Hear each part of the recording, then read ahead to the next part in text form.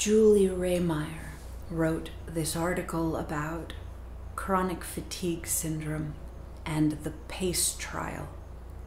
Statnews.com, 2016, September 21st. Survivors in our network report that people experiencing health conditions like these are being sex trafficked. A person experiencing what this article describes cannot communicate or get away if they are being trafficked.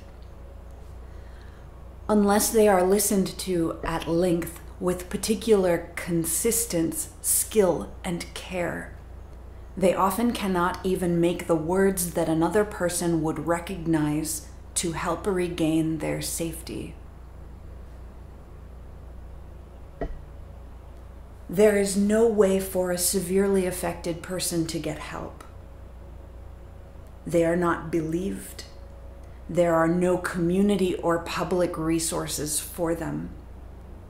This is how I was sex trafficked.